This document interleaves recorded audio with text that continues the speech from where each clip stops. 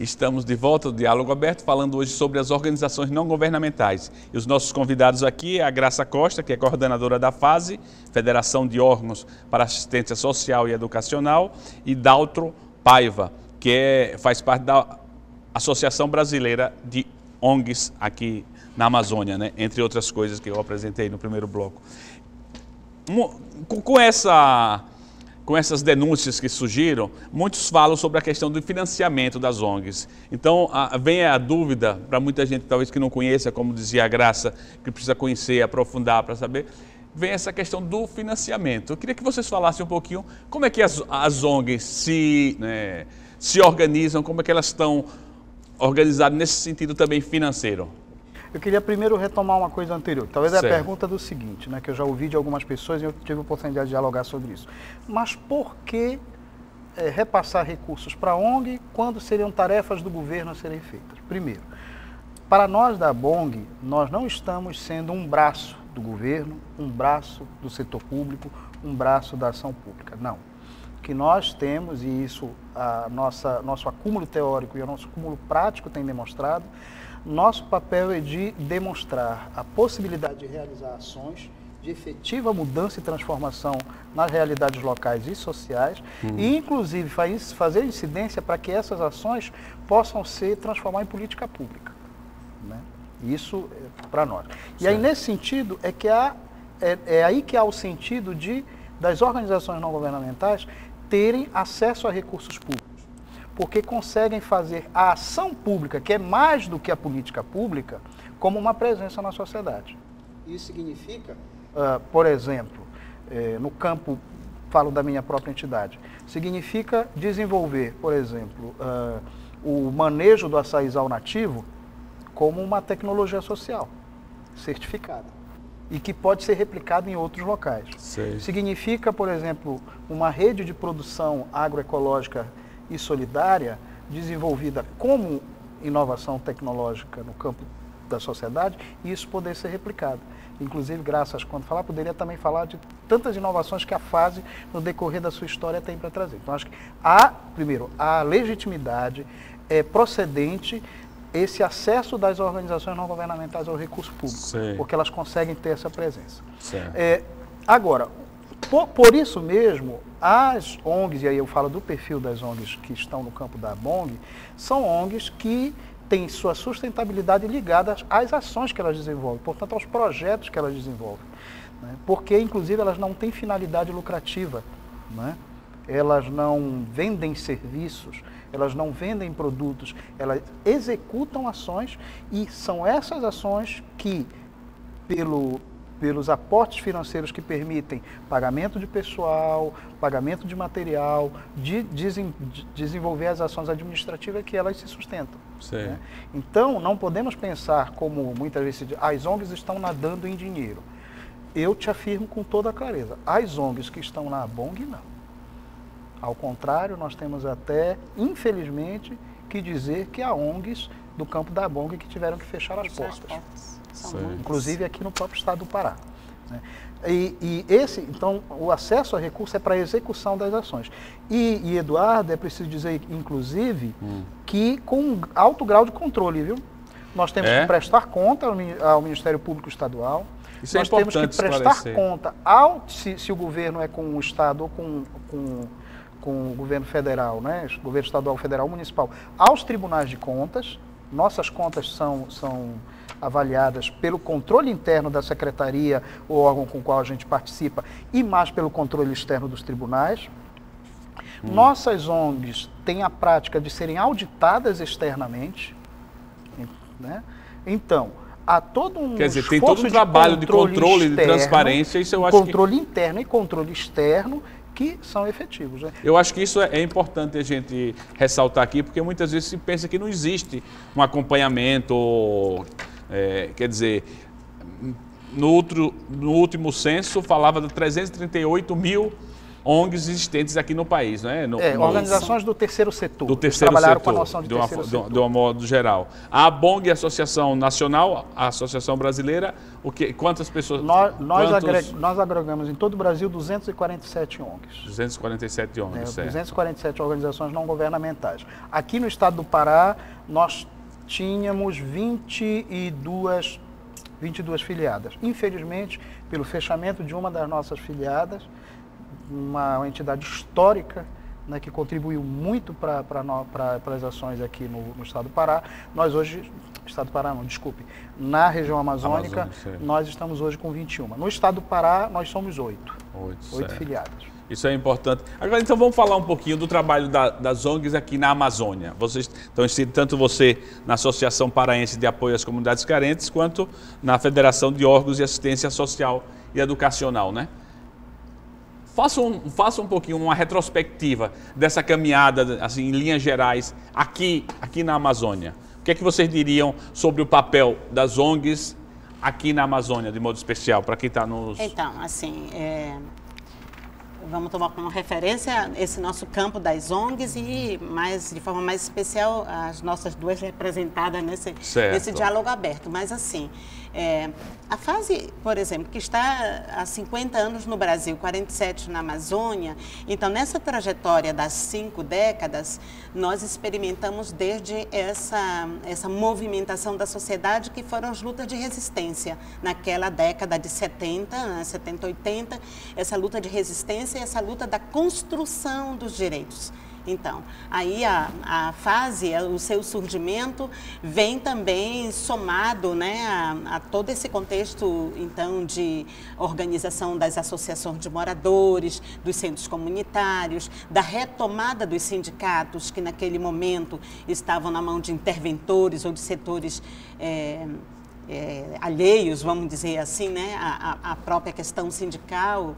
Então, toda essa organização sindical, popular, do movimento de mulheres, né, de todos os outros tipos de organização que passam por esse processo da luta da resistência. Né, então, movimentos é sociais é ao longo Então, é, é, a própria construção desse tecido social. Né, então, é, que nós podemos chamar assim, de grosso modo, na luta de resistência.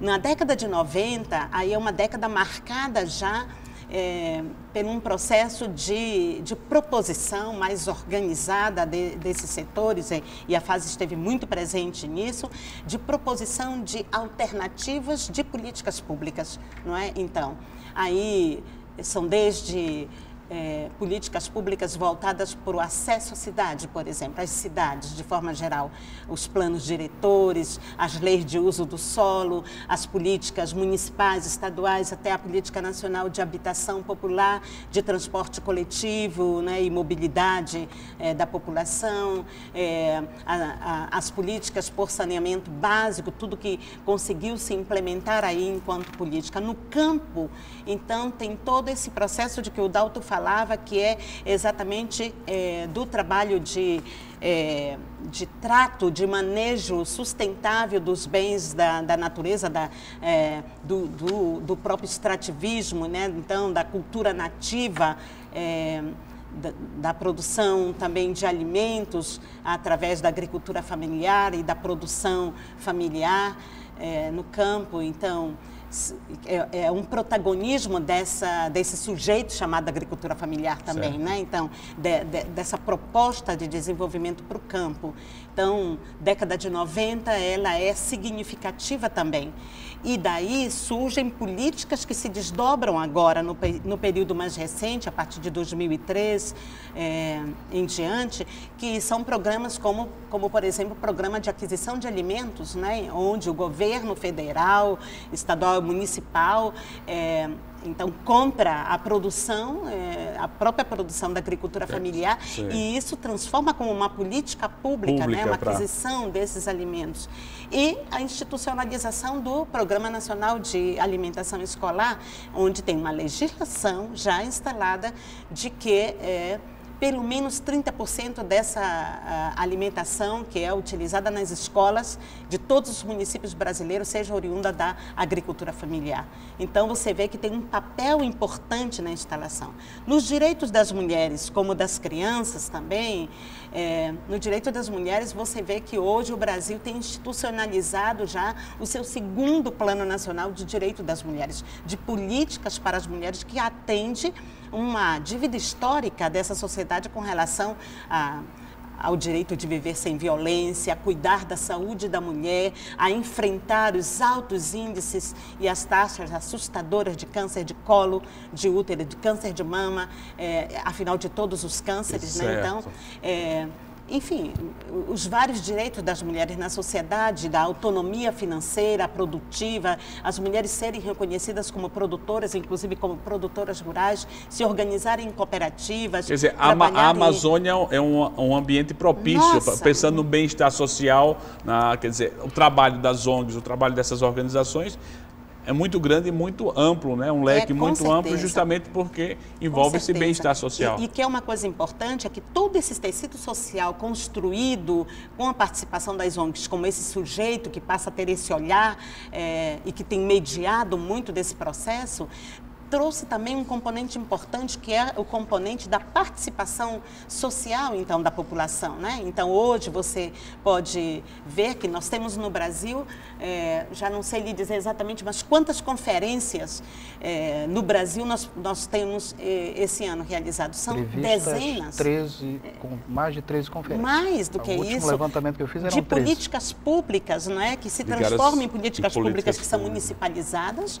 É, agora, bem recentemente, eu estive num evento na Caixa Econômica Federal que tratava sobre a municipalização da política de habitação. Veja, Eduardo, quando nós começamos lá na, na década de 70, não se pensava sobre isso. A população era expulsa cada noite dos lugares onde ela ocupava na Baixada de Belém, que ocupava 40% do território dessa cidade. Né? A população era retirada à força daquelas áreas em cima da água, vivendo sem nenhum direito, e hoje nós temos a institucionalidade de termos uma política de, de habitação. Quer dizer, ter tudo uma caminhada, Com né? certeza, Todo... né? Com certeza. E a participação social, que é capaz, embora tenha muita coisa para ser feita ainda, porque, como disse o Daltro, nós temos ainda um, um índice muito alto de violação de direitos na nossa região, mas nós temos que reconhecer que nós temos bastante conquistas, é, que são também conquistas desse processo é, do funcionamento, da intervenção das organizações não governamentais é, no Brasil e na no Amazônia. Brasil, Nesse momento,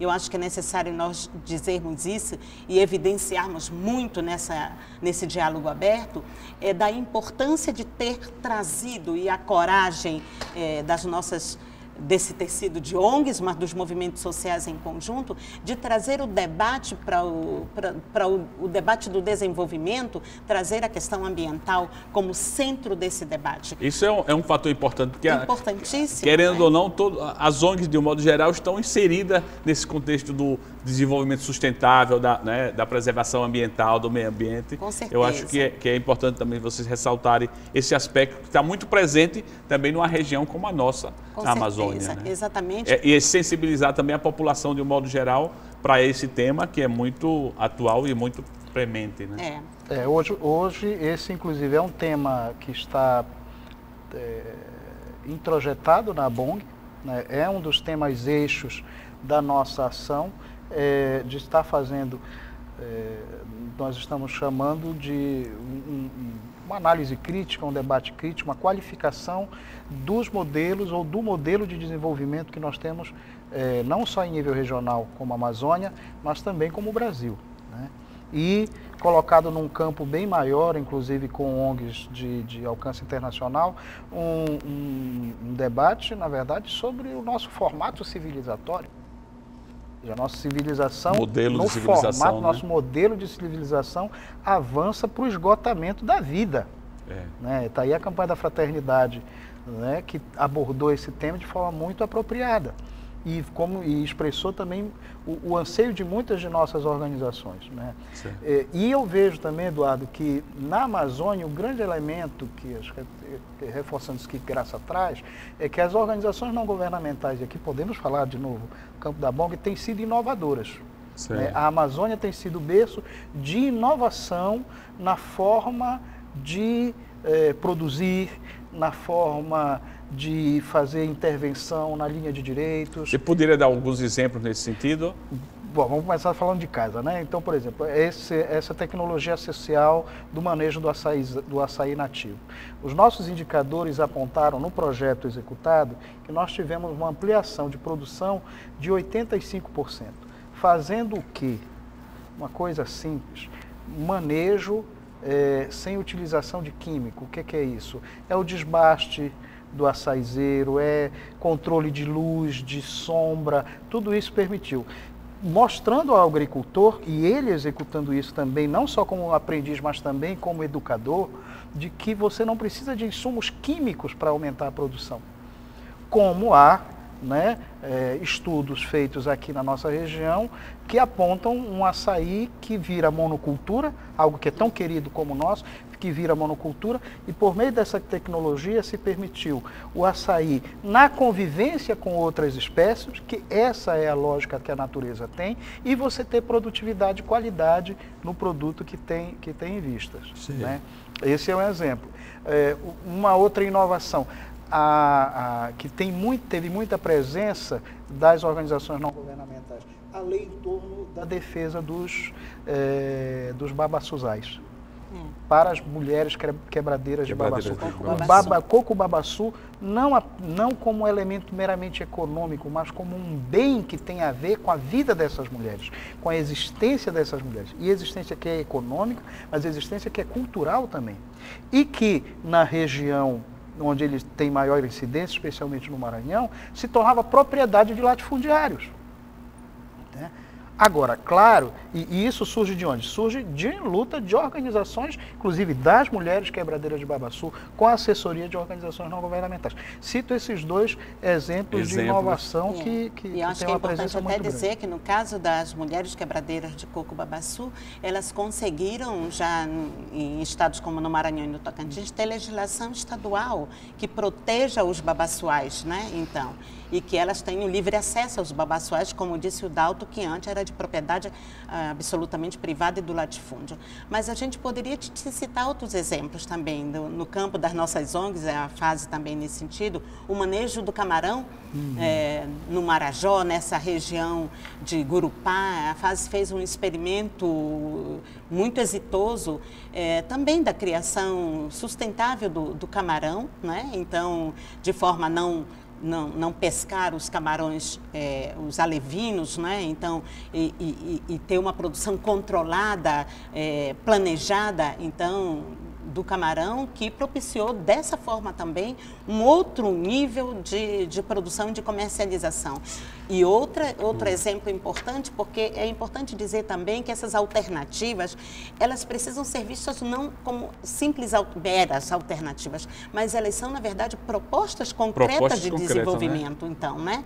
E para um modelo de desenvolvimento. É um modelo de desenvolvimento, e, sem dúvida, aí envolvendo a gente pode te dizer, é, que nesse sentido também se, se inscreve, por exemplo, hoje, diversas cooperativas que nossas organizações trabalham na região do Baixo Tocantins, por exemplo, têm contrato de comercialização com empresa Nós de vamos falar dessas cooperativas na, na, no próximo bloco, okay. tá certo? Não, Você dá tempo de beber um, tomar um cafezinho, beber uma água e depois retorna, senta aí na, na sua poltrona e acompanha o terceiro bloco do Diálogo Aberto sobre o trabalho dessas organizações não governamentais. Até daqui a pouco.